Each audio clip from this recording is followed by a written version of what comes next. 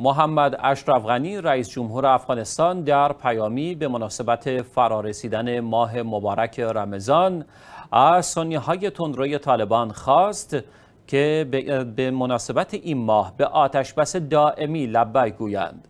وی از طالبان خواست که با اعلام آتش بس اراده عمل و نیت خود را برای صلح در این کشور عملا ثابت کنند.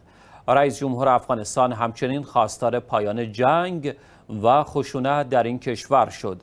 اشرف غنی از نیروهای امنیتی افغانستان نیز خواست که در این ماه برای تأمین امنیت مردم تلاش کنند.